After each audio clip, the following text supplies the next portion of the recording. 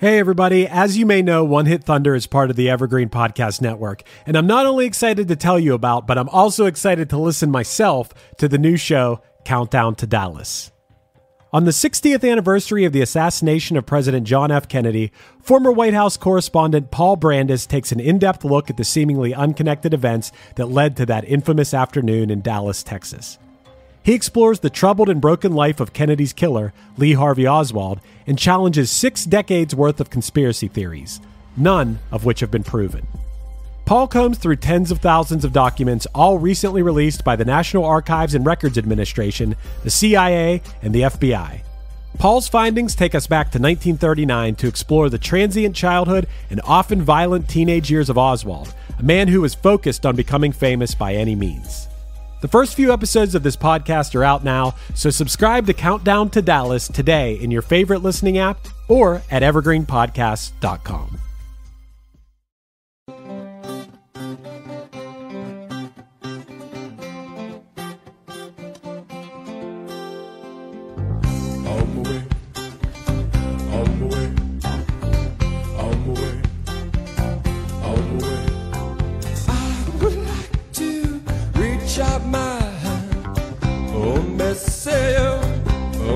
tell you to run.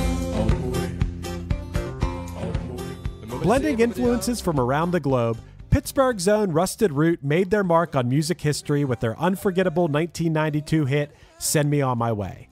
This joyous tune only hit number 72 on the Billboard Hot 100, but the song's prominence in movies, TV, and commercials has eclipsed its initial chart performance. This week, we'll dive further into the story and back catalog of Rusted Root to decide if we'd like to hold their little hand or tell them to run.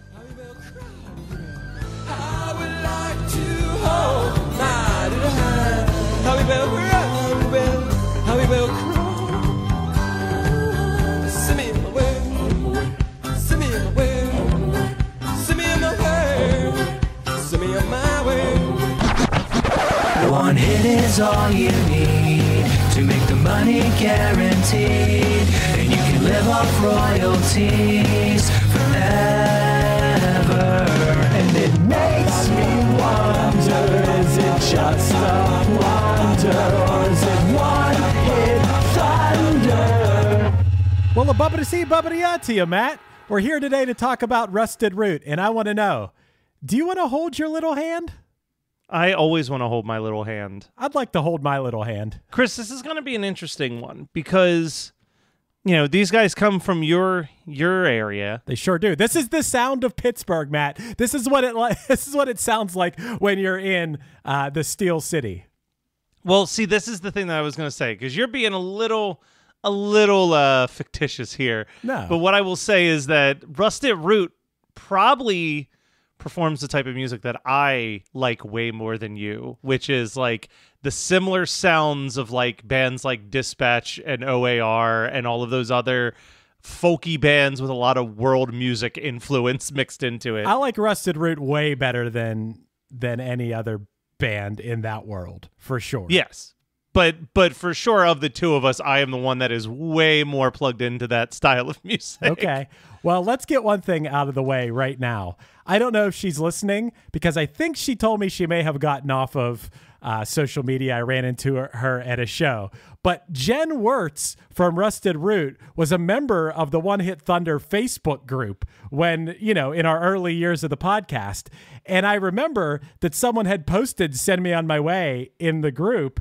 And I think she took a little bit of, of offense to it because, you know, I think that she was looking at the one hit wonder thing more as like a flash in the pan sort of thing where they're not that at all. They're a long running band who had one song that sort of rose above the rest. But if we're being honest here, Send Me On My Way is one of those songs that kind of became a hit later because it only went to number 72 on the Hot 100. Only 72. It it's more about the TV and film appearances for this song, I think. Now, I actually went back and looked for that comment to try to find it. Okay. And it's still up there.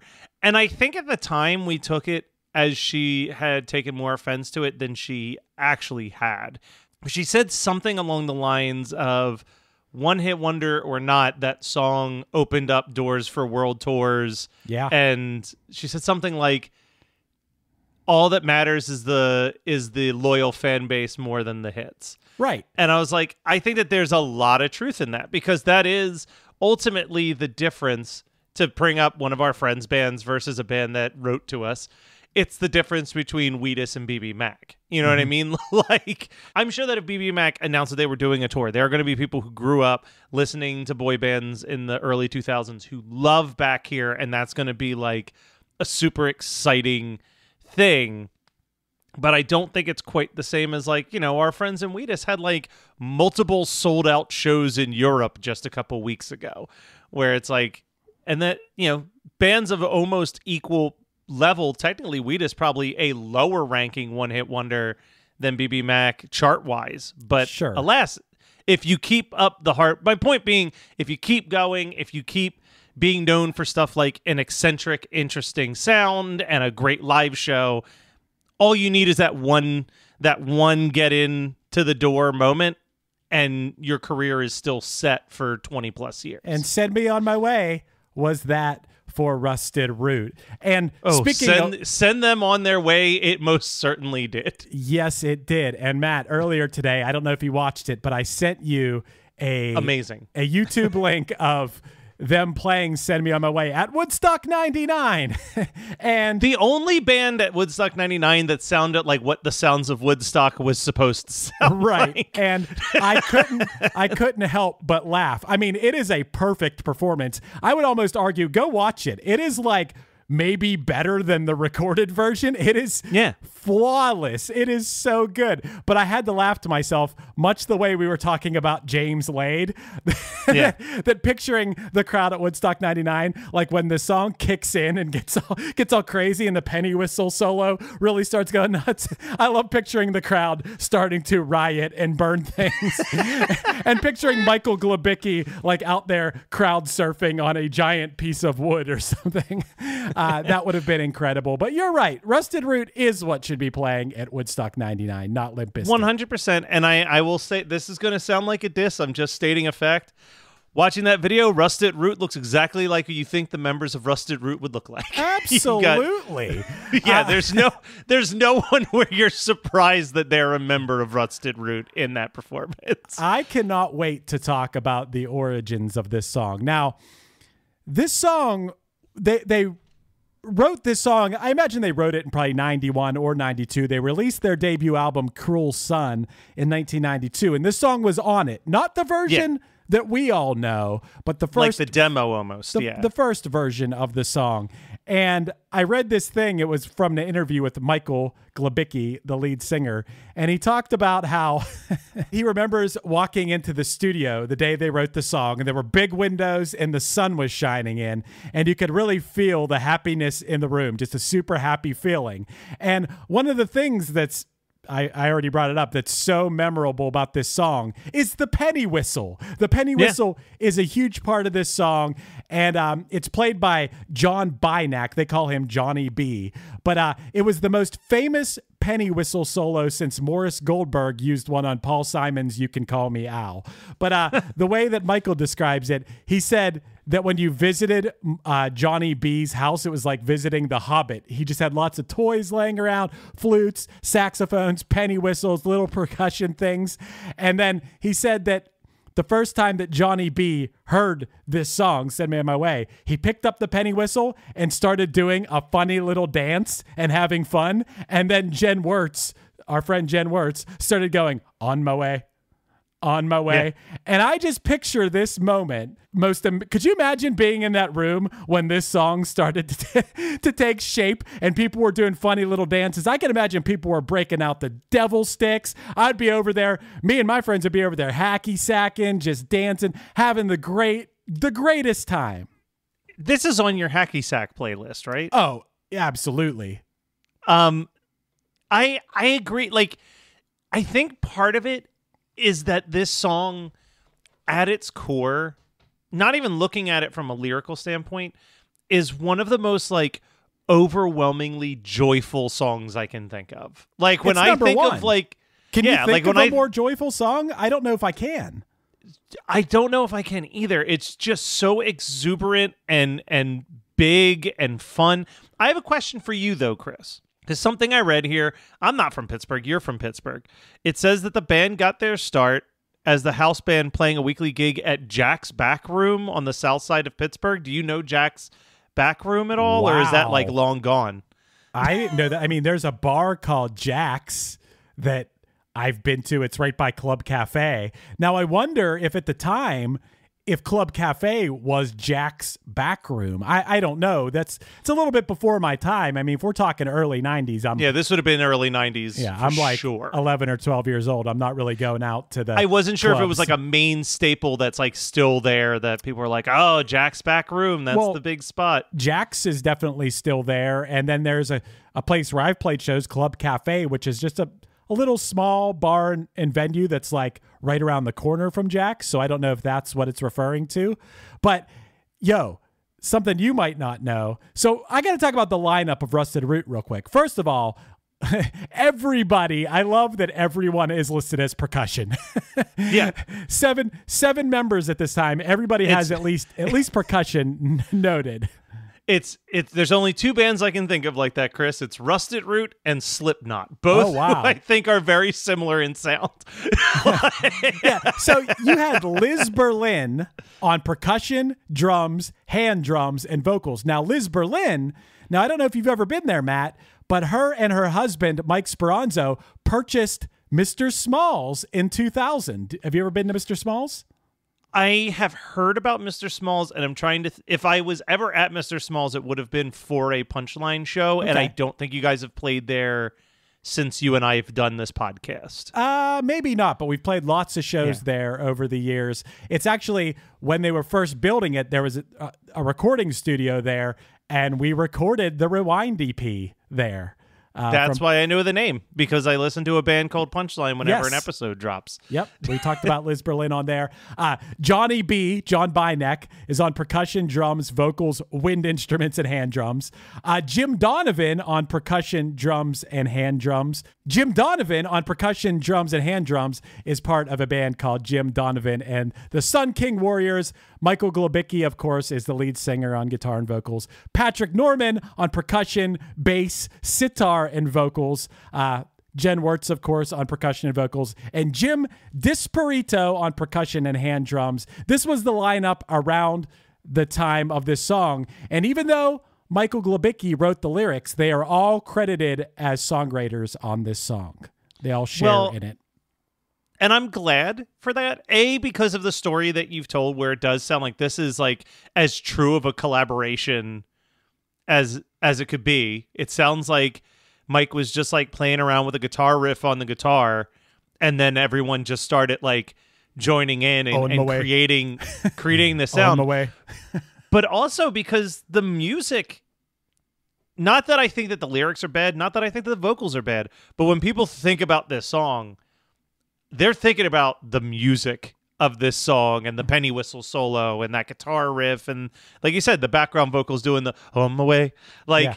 that I think is what hooks people into this song. But this song, it came out on that original album, and they Yeah, sold a hundred thousand copies of that album before they got signed to a major. A hundred thousand. Yeah.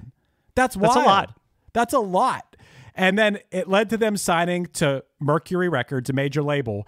And then their second album, the platinum selling When I Woke, came out two years later. And that's with the version of Send Me On My Way that we all know. Now, this When I Woke album was produced by Bill Bottrell, who was Sheryl Crow's collaborator on her debut album, Tuesday Night Music Club, which I believe Night you are a fan of, right?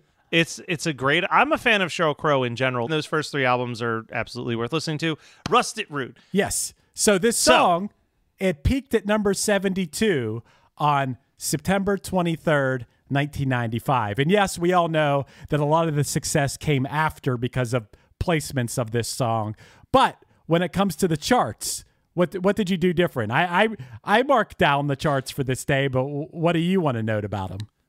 Well, first I put down where what it was sandwiched between at 72 to kind of this song is way more famous than the two songs it was sandwiched between as far as I'm concerned. At 71 was On the Down Low by Brian McKnight, a song that I have no knowledge of, Okay. and Sentimental by Deborah Cox, uh, another song that I really don't know. So this song, for being low in the charts, has way more staying power than what it was around. Number one song in America at the time, Coolio's Gangsta's Paradise. This Oh, is like peak Coolio. Instead of doing what was like the top 10 there, I actually just wanted to write down everything that was like an alternative song that made it onto the Hot 100 Okay. in their placement. So this was on alternative radio. I think that some of these groups fall into the exact same category as them. So like alternate alternative with quotes here. The highest charting alternative song at that time based on that structure was at number 12 was Blues Travelers Runaround. Which makes sense, you know. Yeah, same vibe. Yeah. Um an episode we've already done. Del Amitri with Roll to Me was at Take 16. a drink. Take a drink, everybody. Yeah, there we go. One of my favorite songs of all time at number 17 was Natalie Merchant Carnival. Oh yeah. Love Natalie. Um, number 24, I'm curious if you know this song because you probably won't know it by the title. Collective Soul December. Y- yeah, I know that song. Yeah. Don't come around, oh baby, just spit oh, me oh yeah, of out. course. Of course. That's crazy that song's called December. Yeah. It's because at the very end, the like end, the outro of the song, it's like December promise you gave unto me. Oh. December whispers of treachery. I, Um, I, I wish the reason it was called December is because at the end they went bump ba da da bump December. Another song that I love from the 90s at 42, Bush Come Down. So this Yeah. was like early on Bush blowing up. I think that this song deserves way more respect than it ever gets. At 47 was Lisa Loeb in the Nine Stories with Do You Sleep. oh yeah, her other hit. Better Than Ezra Good was at 48. Another artist that we've covered, Deep Blue Something with Breakfast at Tiffany's, was at 54. U2, Hold Me, Thrill Me, Kiss Me, Kill Me from the Batman Forever soundtrack Right. was at number 69. At 63 was Sponge, Molly, 16 Candles. Oh yeah. A group that I can't believe we haven't done yet because we mention them all the time, but Everything But the Girl Missing, Oh 77. Um, which side note, I think I've said this before. I thought the lyrics to that song as a kid were like the devil misses the rain. Um, makes no sense. Here's one of those weird double A sides, and I'm curious what's your fa- what song you prefer of these two. At 93, Pearl Jam, and it was a double A side of Jeremy and Yellow Ledbetter. I don't know what Yellow Ledbetter is. You definitely know Yellow Ledbetter. So when people make fun of Pearl Jam for like having absolutely unintelligible songs, it's usually that song that they're thinking of. Uh, but it was like, but where was everything? Oh, okay, right, right, right, right. Yeah, I know that song. I think I like that song more than Jeremy. I think, which is crazy. Um, But No, I like Jeremy better. uh, and then the last two I have here: Matthew Sweet, "Sick of Myself" at Ooh. ninety four, and um, my personal favorite song by this group, "Letters to Cleo," "Awake" at Oh. ninety eight. Very nice.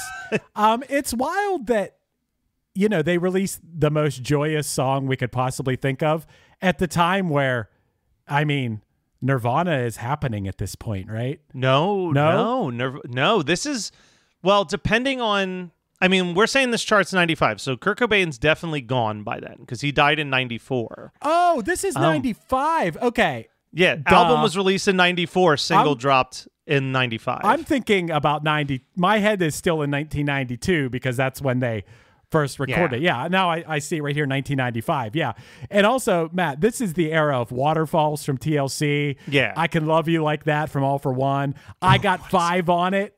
Is popular at this time.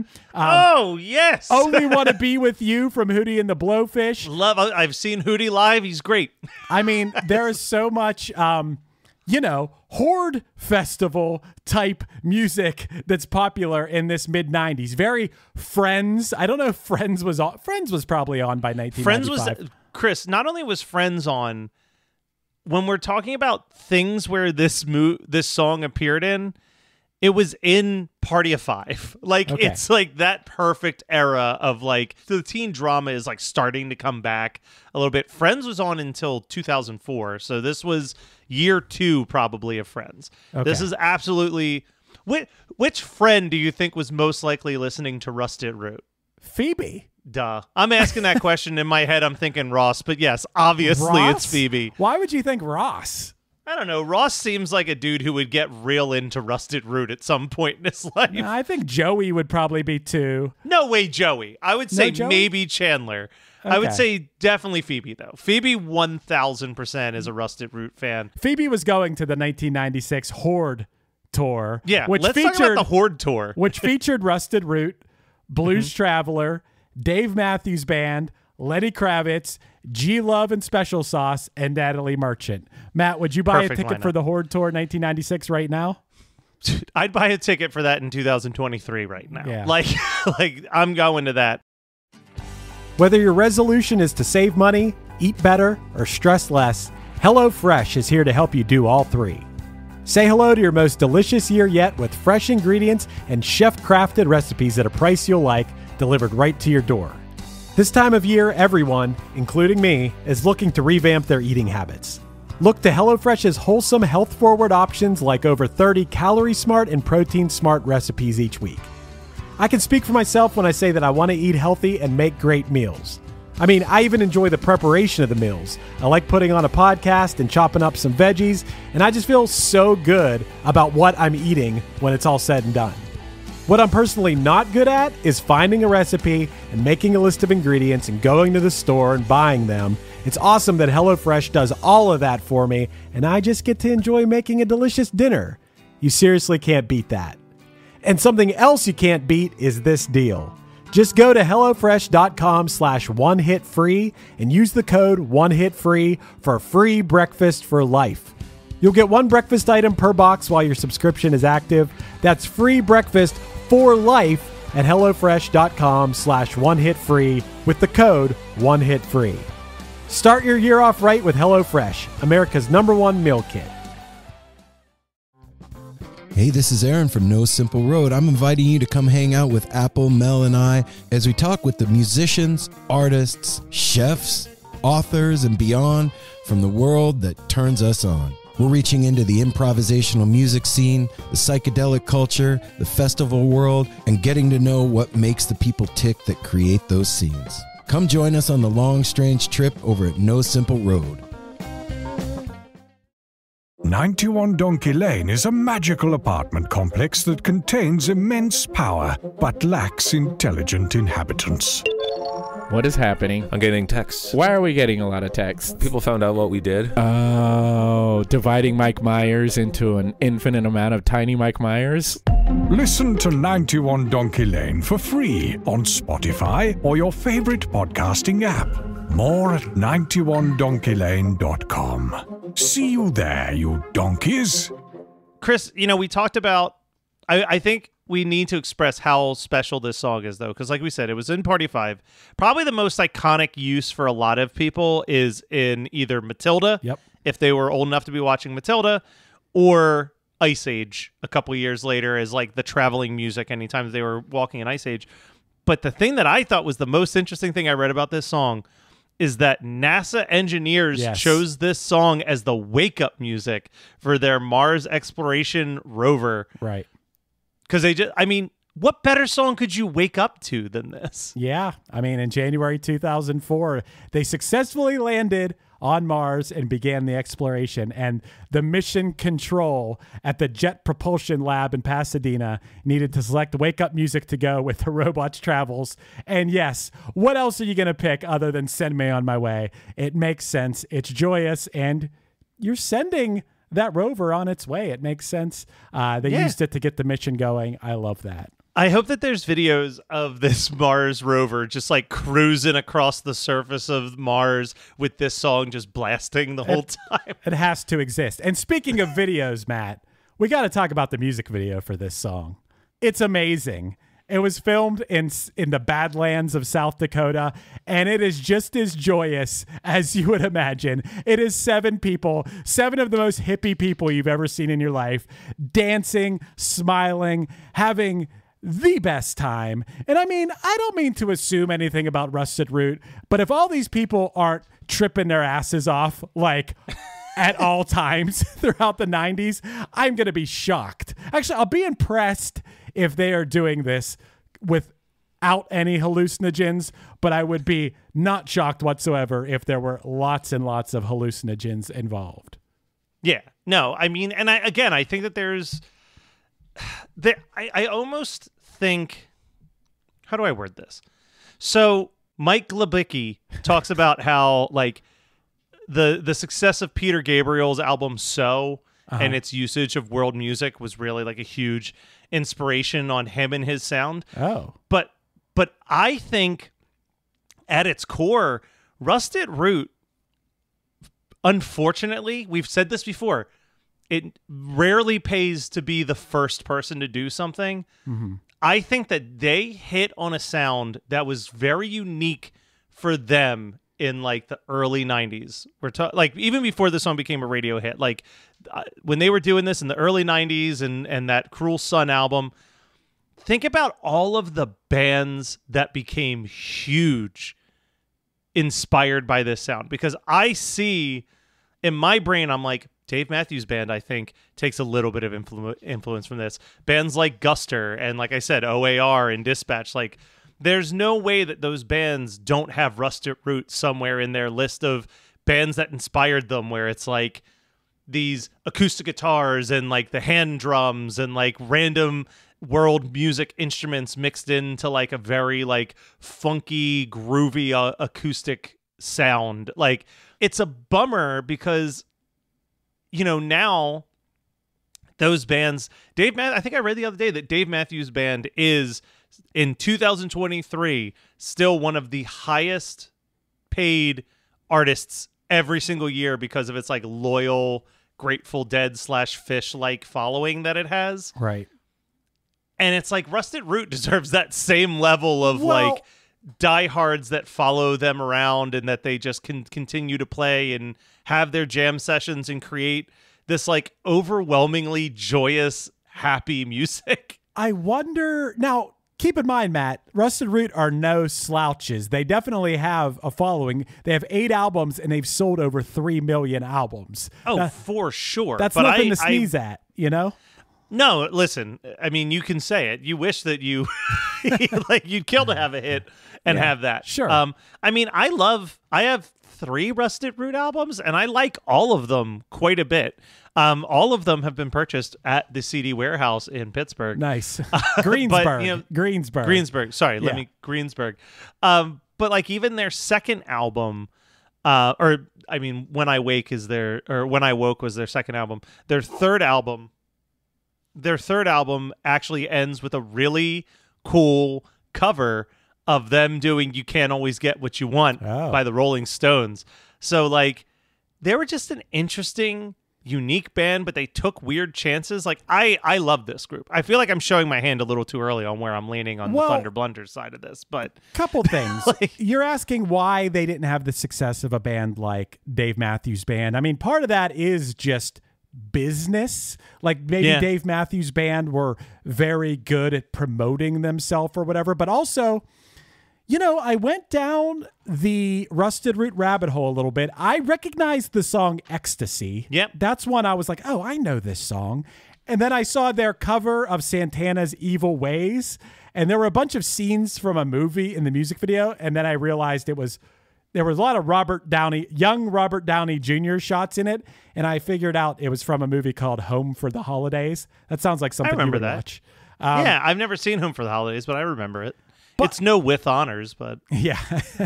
I'm glad you finally watched with honors. Uh, but I don't know. I maybe it's Dave Matthews Band had a lot of hits, you know, a lot of songs that even the person in passing would know. But I kind of with Rusted Root, I kind of think it's like the average person is just going to know "Send Me on My Way," and they might not even know that it's a band called Rusted Root. Yeah. I I think that there's also an element and maybe Jen or any of them if they're listening to this, out- uh, this episode I'd love to hear back from them. There are some bands that being the biggest band in the world is not what they ultimately want. you know what I mean? Like like I think that there are bands where it's like, hey, if we can get our music out there and the people who are into it are into it and that becomes our full-time gig, like that's more than enough whereas I do think that Dave Matthews Band very much want it to be the biggest band in the world. And there's a lot of stuff you have to do where I'm sure to them, like you said, it's a business almost more than it's something fun that you're doing with your friends at a certain point. Sure. And you have to be built a certain way to be okay with what entails the difference between doing something fun that pays your bills and making it a full-time business Or- where you are going to sacrifice some of that enjoyment. I mean, Rusted Root did really well, or it could Yeah. be it could be somewhere in between where it's like, yo, we're not trying to be mainstream, you know, number one hit big. We know what our niche is, and we're gonna make music for the people that love us. We're gonna play festivals.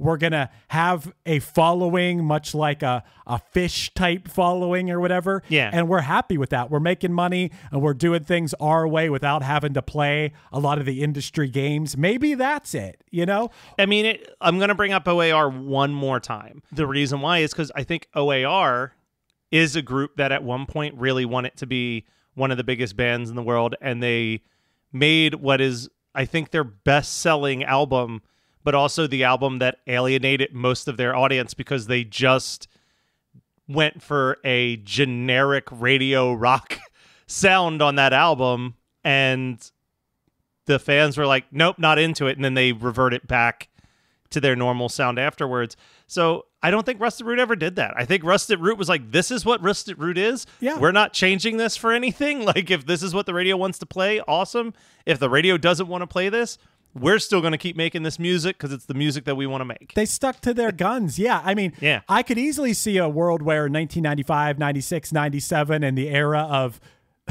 I don't know why I think of that as like the Friends era, but I just think that's that's the vibe of the world. is like the Friends television show where you could have stripped back. You could have had a producer say like, "Okay, chill on the penny whistle, a little bit less hand drums, and just write a straightforward pop, you know, like radio pop song. And you guys could have, you know, a bunch more adult contemporary hits in this era. And yeah, I don't think Rusted Root would have wanted to do that. I mean, I don't know if I'm putting. The, you know my own take on this but i just see that being the way it is you see it as the way on the way on the way, on the way. Hey, uh, one more thing I want to note, Matt, is that one of the influences now. I, I don't know if they call themselves world beat music. That's kind of what Wikipedia calls them. It's like a blend of pop music with world music or traditional music. Uh, but they cited a big influence um, was Toni Childs, who is an American singer who uses lots of African sounds in her work. Toni Childs also had one, you know, Billboard Hot 100 hit, and it was in 1988, a song called Don't Walk Away, which also went to number 72. That's where that's it went. that's as far as we'll let world beat go in this Yes. in this great united states World Beat cannot go past number 72. Uh, so, you know, uh, Matt, if you could play a clip of Don't Walk Away, I'm sure everyone would be interested to hear what influenced this song a little bit.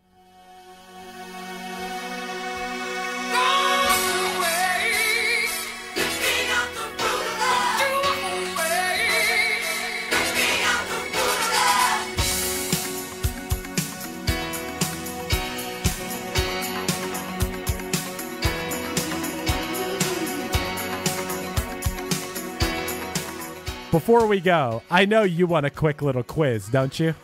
oh i am always on board for a quick little quiz Um, my quiz for you today. You're not going to get multiple choices, so oh no this is this is a true test of your wits. But I believe in you. You're going to get six questions, all re- all based on things that "Send Me on My Way" was used in. Okay. Okay. all right i believe in this You believe in yourself? Yeah, I believe in myself. Uh, of six questions, I think I'm gonna I'm gonna really bet on myself. I think I can get four of the six. Okay, I believe in you. I believe in you. All right, here we go. First off, we're going to start with a Matilda question. When's the last time you saw Matilda? It's been a hot minute, but I watched it a lot. Okay. Who plays FBI agent Bob in Matilda? Fuck. I I really thought the question was going to be who directed Matilda, and I was all going to be all excited to be like uh, Danny DeVito. Oh, it's his wow. only kids movie. Fuck, I remember that it was someone noteworthy too. If you had, if multiple choice was on here, I would a thousand percent get it. But off the top of my head, I cannot remember. You're gonna send Bob. yourself on your way when I tell you I'm who it is. sure I will. God damn it, Bubbity see, bubbity um. It was Paul Reubens. Paul Reubens. God damn it. Yeah. If you had given me multiple choice, I would have remembered that. Son of a bitch. All right, I got an Ice Age question for you. Okay, here we go. Uh, Have you seen Ice Age? I have the first three on DVD. Of course do you this. do. Of course you do. Who is the voice of the British accented weasel Buck in Ice Age? Who the fuck is Buck? You're Like- you're gonna kick yourself again if you don't get this one. I'm trying to think. There's got John Leguizamo's the the ferret. There's the the little like rat thingy that's constantly trying to hide the nut, and that I'm pretty sure is Alan Tudyk. Who the fuck is Buck? I don't even know who Buck is. Ah, damn! It's Simon right. Pegg. Oh shit. Hmm. Damn. That may have been in a later movie.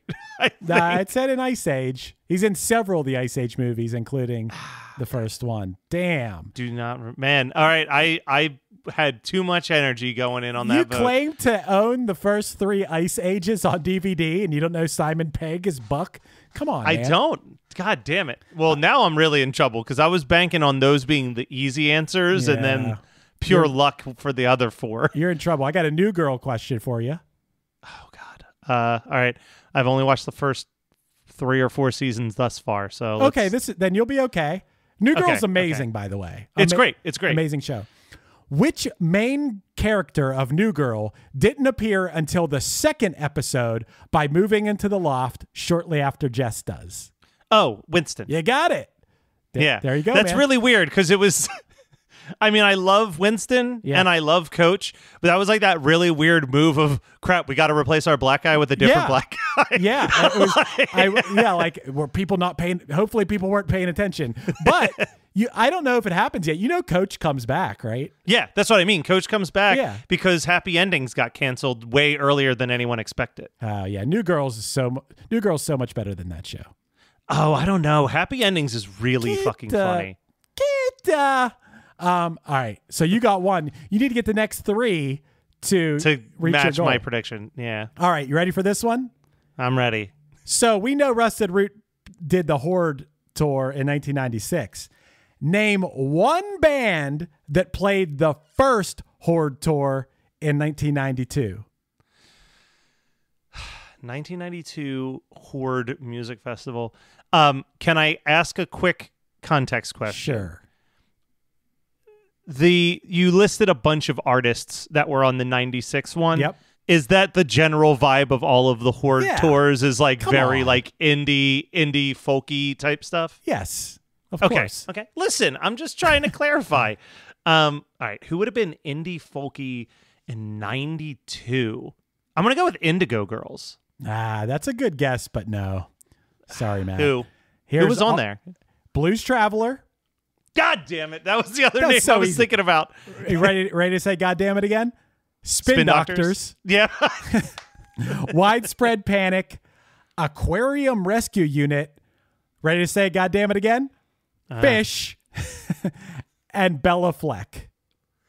you know, the thing that's crazy with that one is that I, even though I know Phish has been around forever, I don't think I would have thought of them as a band that was around as early as 92. Oh, yeah. like like in my head i would have thought that they were like a later 90s group for whatever reason Nah. um yeah no blues traveler and spin doctors would have been a good call Yeah. Okay. You can still get a respectable score. I got two questions off for you. okay here we go So, Send Me On My Way was used in Twister. I assume you have Twister on DVD, right? i don't have twister on dvd but i do have the soundtrack to twister Okay. Name three cast members of the movie Twister.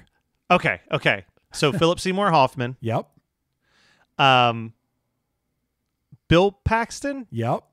okay I was like, "Is it Pullman or Paxton?" You got the right one. The, the big, the big freeze there. Why am I blanking on who the female star is of that movie? Um, oh my god, Wow. Oh, and he like, like the the bad guy, the bad guy is also God. That is. I'm taking a big swing here. Was Joey Pants in in Twister? I don't think so. No. God damn it. No. Sorry, I don't know. See, I'm so tempted to just grab my phone and look, but I'm I'm I'm failing fairly. I'm fairly. Yeah, you, you you can't cheat. I know. Listen, we've done things where people cheat it for sure. Yeah, I know. But here's, moving on. Here's more of the people you could have said: Helen Hunt, God, that's the. Ah, Cary Elwes. I almost said that, and I was like, "There's no way Cary Elwes is who plays the villain." Yep. he does play the villain. Yep. Son of a bitch. Alan Ruck, Anthony right, the Ruck is in there.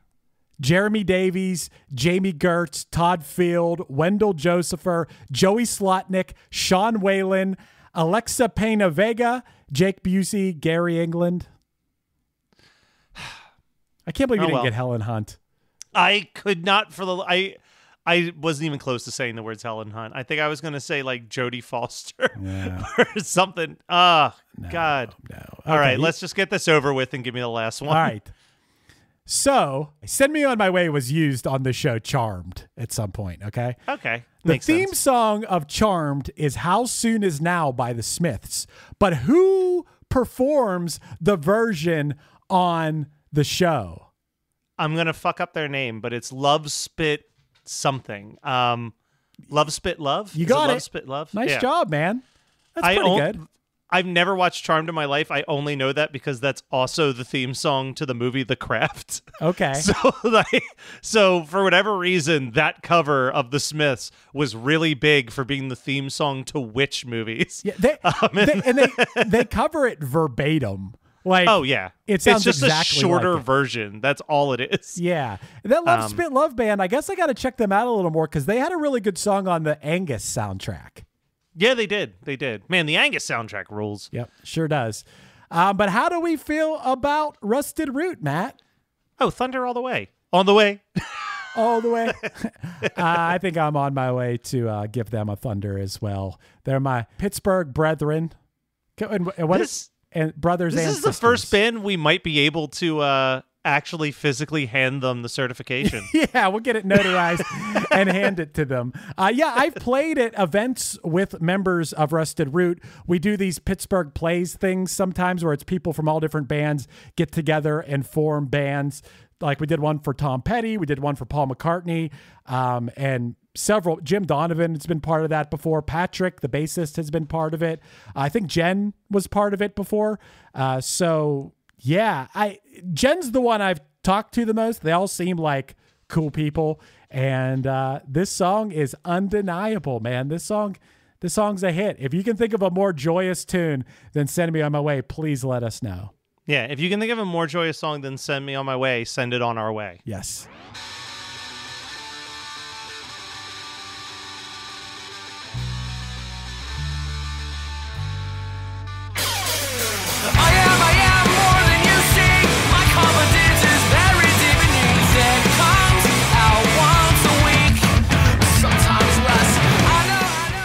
Been One Hit Thunder. One Hit Thunder is hosted by Chris Fafalios of the band Punchline and produced by Matt Kelly of Geekscape.net. Underneath me, you're hearing Ghosty off the Punchline album Just Say Yes. Be sure to check out punchline.com for any upcoming news on the band. Our podcast is on Patreon now, so find us at patreon.com backslash OHT podcast for early access to episodes, bonus episodes, and a chance to vote on future songs that we cover. Be sure to rate, review, and subscribe to us on any podcasting app, and tune in next week for more One Hit Thunder.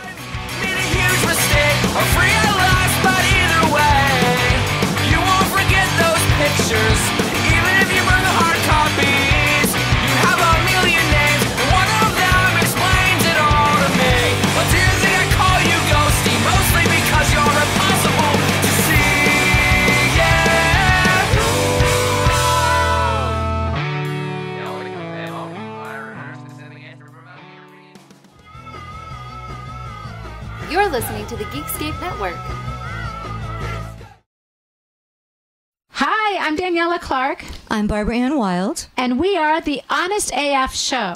Our podcast is real, honest conversation with our celebrity friends and pros, Covering our anything but average rock and roll lifestyles. all while tackling the hell that is aging and the battle of beauty. Oh, yeah, nothing is off the table. The Honest AF Show is available wherever you get your podcasts.